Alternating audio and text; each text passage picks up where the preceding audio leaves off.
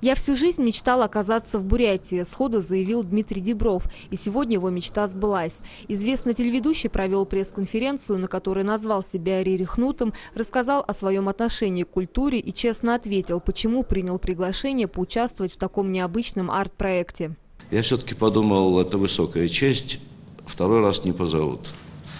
Потому что в Бурятии оказаться, ну, это мечта, и, знаете, она может и так и не осуществиться. Крайне важно, чтобы человек, живущий в Бурятии, не чувствовал бы себя, как бы сказать, в культурной провинции. Провинция – понятие не географическое, целиком и полностью, оно ментальное.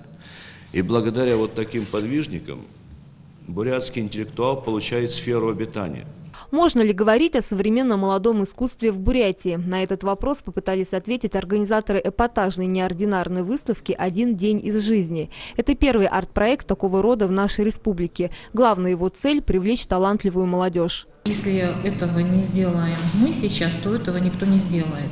И э, ситуация складывается э, катастрофически, можно сказать, с каждым годом. Э, мы пользуемся всеми благами современной культуры, но мы не умеем ее сами создавать. Да? Потому что, чтобы создавать что-то, относящееся к современной культуре, нужно владеть языком этой культуры, а никто этот язык не изучает.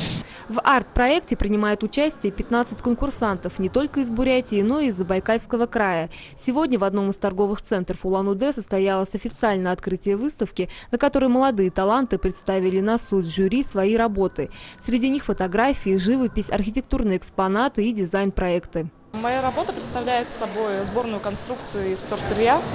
А, она принадлежит тематике как в связи с экологической ситуацией ну, в нашем мире, получается, я решила сделать оленя. Особенно считая то, что у нас в Бурятии очень много выбрасывают отходов в Байкал. И в связи с этим я вот сделала такую скульптуру.